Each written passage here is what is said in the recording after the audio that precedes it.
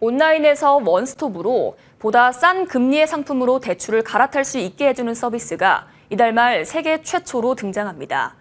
플랫폼을 제공하는 tech 기업과 상품을 공급하는 금융사 간의 이해관계 조율이 관건으로 보이는데요. 조정현 기자입니다. 현재 서비스 중인 대출금리 비교 플랫폼입니다. 1, 2금융권의 상품별 금리를 한눈에 볼 수 있지만 앱 안에서 곧바로 갈아탈 수는 없습니다.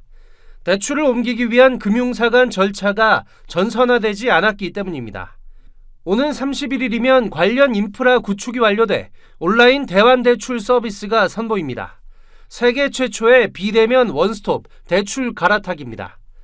금융당국 주도로 19개 전 은행을 비롯해 1, 2금융권의 53개 금융사가 참여했습니다. 우선 신용대출부터 시작해 연말이면 주택담보대출까지 확대됩니다. 금융사들 입장에선 금리 무한 경쟁이 촉발될 수 있는 만큼 선뜻 나선 상황은 아닙니다. tech 플랫폼에 종속될 거란 우려 역시 상당해 지난해까지만 해도 은행권은 대환대출 플랫폼에 부정적 입장을 유지했습니다.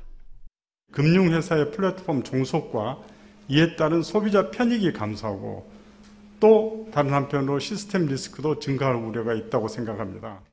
금융권은 플랫폼 기업의 과다 수수료를 막을 정책적 지원을 관건으로 보고 있습니다. 당국은 우선 금융사 각 업권별로 플랫폼 기업들과 자율 협약을 유도해 과도한 수수료를 지양하도록 했습니다.